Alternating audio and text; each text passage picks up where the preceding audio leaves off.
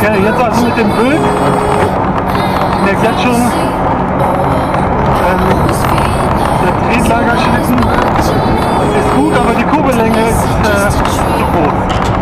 Mit 150er Kurbeln drauf, auf einem Milan 140, stark mit dem Hinterknie, oben gegen den so schon größeren Huckel.